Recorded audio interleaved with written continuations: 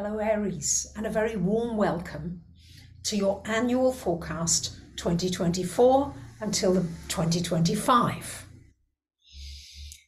As always, the years are getting bigger and more powerful, but in some ways, this year is a, a transitional year as we're moving away from the frequencies of earth and water, slightly slower frequencies, and we begin to move into the fire and air frequency. Now, always on these annual fo- forecasts, I focus on the outer planets because they move more slowly. The inner planets I use for your monthly forecasts, which I do hope you will watch as well. So let me give you the highlights. The first highlight is that Pluto begins to make its final shift. It goes a little bit there and back during this year into Aquarius, into your 11th house, where it's going to stay for about 20 years.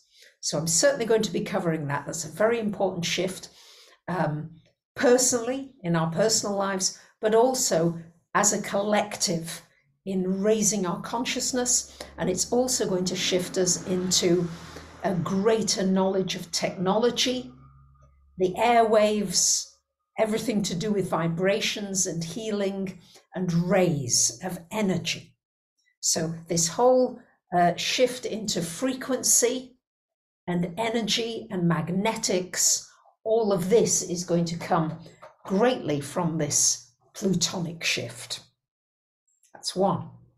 Your ruler Mars is going to go retrograde in December. So we don't really worry about it at this point, but I'm just planting it in there and I'll show you where in your chart it will fall a little later on in the video. Jupiter changes sign once a year and Jupiter will change sign and go from your second to your third house in the middle of the year. And I'll explain that. So Jupiter changing sign is Jupiter rules growth, expansion, learning, abundance, wisdom. So it will be a life area that you are to grow, to explore, to learn from. And as we move collectively from Taurus into Gemini, we're moving again into this air frequency. So Pluto into Aquarius air. Excuse me. Jupiter into Aquarius air. We're working with the power of the mind and the mental frequencies, which of course goes so much more quickly than a physical aeroplane or a physical train or a car. We're going to be able to move energy much more quickly, and science is also going to catch up with a lot of that. All Mercury retrogrades are in fire signs this year. I'll tell you when, but to give you the overview here, Mercury in fire signs has to do with inspired thinking, innovative thinking, taking the initiative, taking the lead, and that's certainly you, lovely Aries. You're the start of the zodiac, you're the first, you rule the head and the brain.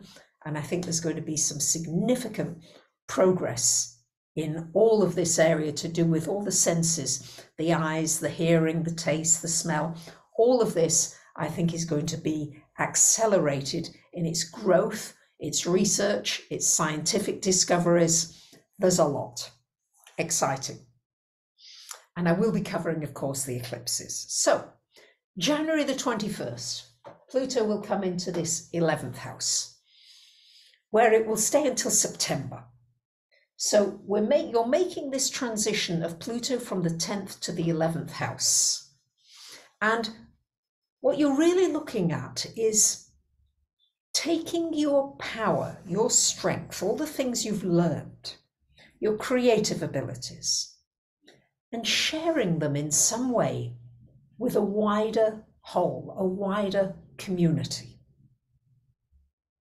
So it might be that you've got gardening skills and you share that, or you've got cooking skills, or you've got coaching skills. Whatever you're good at, it's about bringing that further and wider.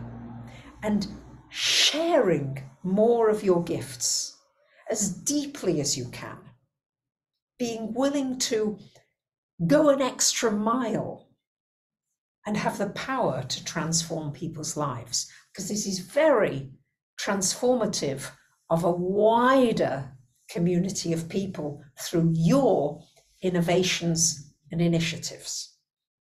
It looks as though, as well, you're going to be working with the power of friendships and the power of groups. Two or three or four coming together with the same intention, with the same goals, can be very, very powerful. So you might be also investigating that. And you may find that your social circle, your friends, profoundly needs to change with the kind of person that you are blossoming into. We've got an eclipse, lunar eclipse on March the 25th in your relationship house and on April the 8th, solar eclipse. So these first set of eclipses and also the second set a little bit uh, we've also got we'll have um, a solar eclipse in october in the relationship house. So the eclipses are happening in your first and seventh houses. So be prepared for some changes in relationships changes in how you see a relationship there may be a physical shift there may be an ending a new beginning a deepening all kinds of possibilities in the area of relationship, but it's going to be stimulated strongly uh, towards the end of March. And these eclipses last for a good six months. So you're going to find that this whole area of relationships, you may need to learn to be a little more adaptable, maybe to compromise a little more when needed, but at the same time, know where are your boundaries and what's important to you and where do you need to take a risk? Maybe in an existing relationship or opening yourself up to a new relationship and trusting somebody new, because that takes a lot of courage too.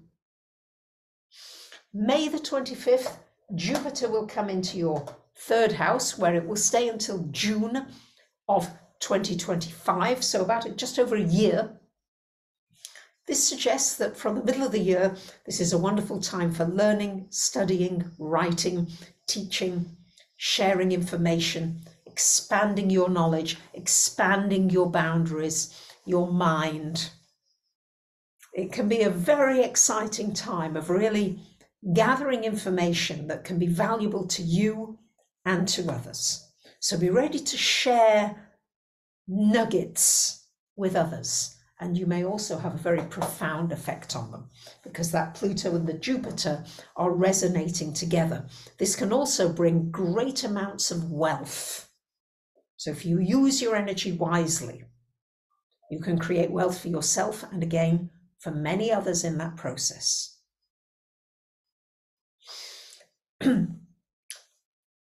the Mercury retrogrades are in April, August, and November, and they're going to hit the fire houses, the first, the fifth, and the ninth houses. All right. So I'm going to suggest that you're going to be reflecting about yourself and what you want in life. And there may be changes there. You're going to be reflecting about your creativity maybe bringing out more of the joyfulness that is inside you anyway we try and keep it down a little bit, but you can't keep it down forever because it will come up. So it's allowing the creativity to bubble up. And you may also be reassessing during this year your spiritual journey, your spiritual path in some way, and taking it to deeper levels. On September the 18th, we've got a lunar eclipse here and in October, a solar eclipse in the relationship house. So this these eclipses again, you're getting triggered in the relationships again. So really study your relationships. Be ready to listen carefully. Know when to take action, when to be silent. You're going to be learning a lot in this area, and you're also, as a result of all that, probably going to need a little more solitude and quiet time. Your ruler on December the 6th will go retrograde in this fifth house, again asking you to reflect upon where you're putting your energy, where you're putting your time, and putting it more into the things that bring you joy and pleasure and bring out your talents and your gifts. So, this is an exciting year, lovely Aries. Things are sort of bubbling upwards.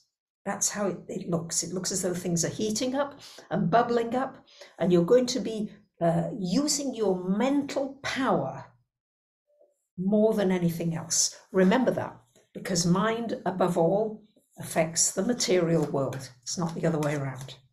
So let me see what your Pleiadian Oracle card deck is for this coming year.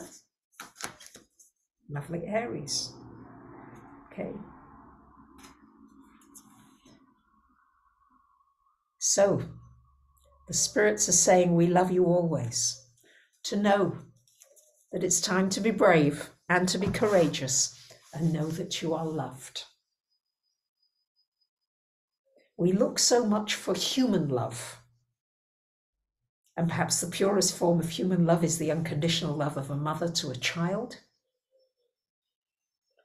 But at some point, usually it is the mother who will pass into another realm and the child has to fend for itself in the world. This is tuning you into the fact that there is a divine energy of love that makes our world go round. And if you can tune more into that, you'll find that magic will happen in all life areas. So I wish you a wonderful year ahead. I thank you for listening. I would love your comments and feedback as to whether this is valuable.